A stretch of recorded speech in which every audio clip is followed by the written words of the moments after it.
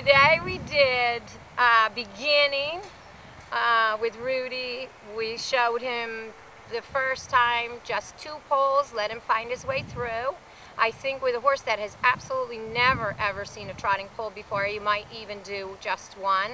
Let him find his way over. Then you add two so they can figure out how to space themselves. We go all the way to four poles. I think four poles is very useful. It really make them pace themselves. They cannot get out of figuring out the length of stride needed to make it through the poles clearly. When you have three, sometimes you still, they can still be making a little bit bigger step than is necessary.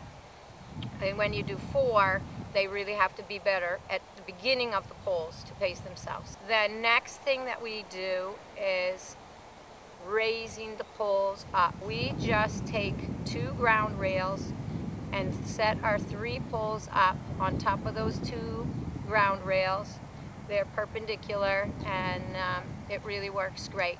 As you come to the poles, make sure that he stays in small enough steps and then you let loose on the reins and let him find his way through the poles as best you can. Our interference is not going to help him to find that swing and looseness in his back. We, us being as small an influence on him impossible over the poles, that's what's going to help him and it's going to help you to feel your horse swinging over the poles and then in the future swinging in his dressage frame.